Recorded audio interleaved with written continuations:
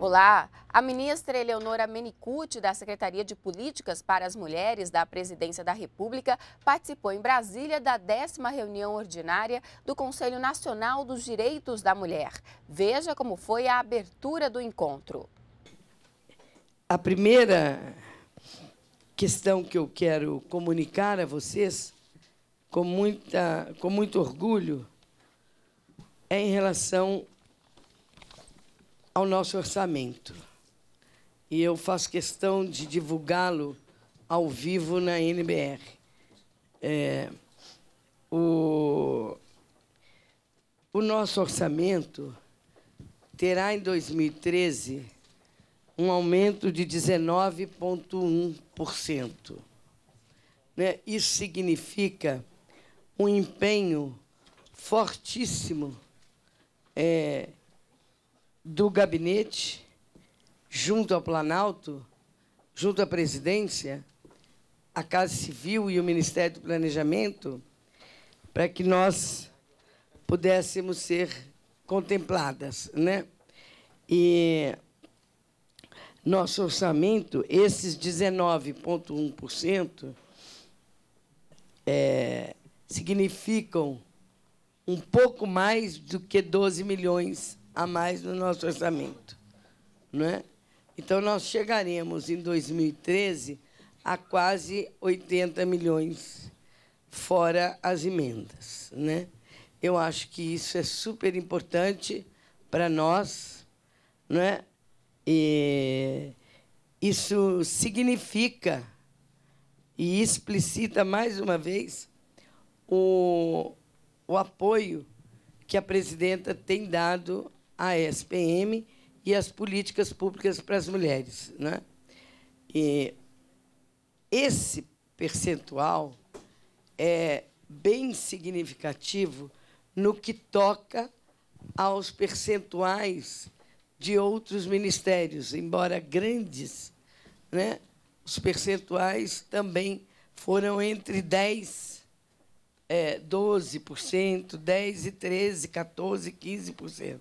Então, eu tenho muito orgulho, muita satisfação de comunicar em primeira mão é, para o Conselho Nacional dos Direitos da Mulher. Né? E a outra questão também que diz respeito a um empoderamento da SPM é que no projeto de lei que está em votação no Congresso Nacional para aumentar os DAS da esplanada, nós seremos contempladas com mais uma porção, é, uma porção, um, é, não é uma porção desse tamanho, é um percentual de DAS que realmente é, fortalecerá o nosso quadro aqui na SPM.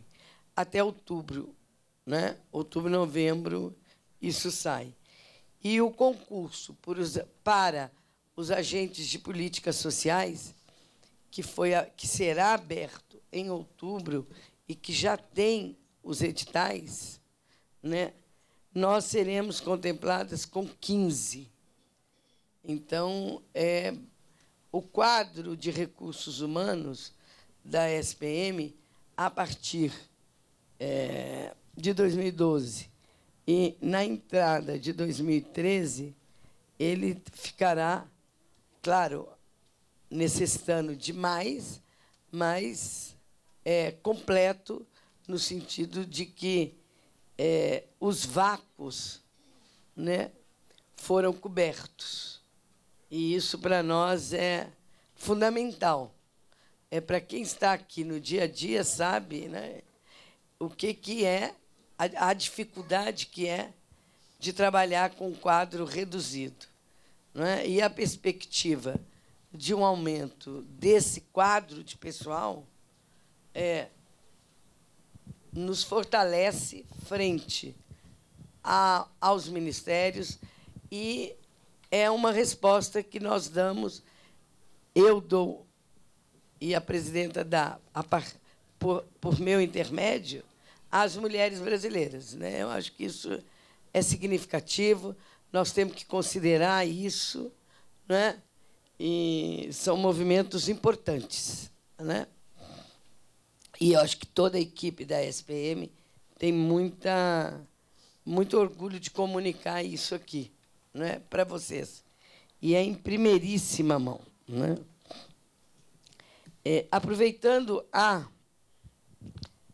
abertura da a transmissão da NBR, né, eu peço desculpas pelas minhas condições é, vocais que estão é, bem deterioradas, é, mas eu quero dizer, aproveitando que nós temos, e eu tenho em nome da SPM, é, um orgulho muito grande de comunicar é, a nova conselheira de notório saber. Nós fizemos uma, é, uma votação online entre as conselheiras. E, sem sombra de dúvida, com maioria quase que absoluta, né, eu tenho o prazer, a satisfação, a emoção é, de dizer que a nossa companheira Sueli Carneiro né, foi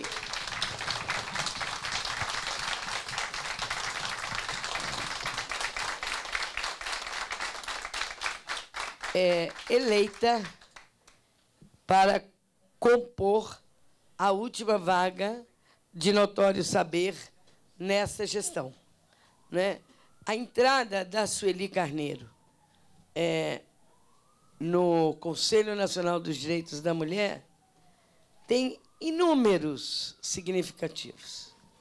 Inúmeros. Mas dois deles são fundamentais. Eu quero dizer, Sueli, que a sua entrada fortalece, não é?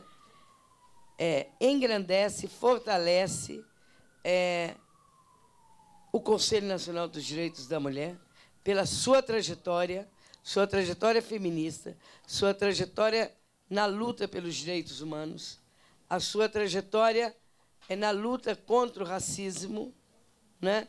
A sua trajetória no movimento de mulheres e a sua trajetória acadêmica. Né? Então, a Sueli é, faz um. Ela incorpora no perfil dela e na trajetória dela traços importantíssimos que dão a ela é, o gabarito que ela tem para ser é, indicada a qualquer cargo. E para nós, aqui da SPM, é, e eu acho que, sem dúvida nenhuma, eu posso falar, para as mulheres brasileiras, independente de classe, raça, gênero, etnia, é orientação sexual, é, só temos a ganhar. Né? Então, você sabe disso e você saiba que nós estamos muito orgulhosos de tê-la aqui. Né? E eu fiz questão pessoalmente de te ligar, de te chamar, e eu quero dar posse a você ao vivo, transmitido pela NBR, para mostrar não só o nosso compromisso com a luta contra o racismo no Brasil né, e no mundo, mas a nossa infinita parceria com as mulheres negras, é, não só na gestão, mas na luta né, é, para um mundo melhor e uma sociedade melhor. Seja bem-vinda, arregace as mangas e vamos à luta, porque ela é árdua, mas ela é boa. Né? E eu tenho certeza que nós ganhamos com você aqui. Muito obrigada por você ter aceito.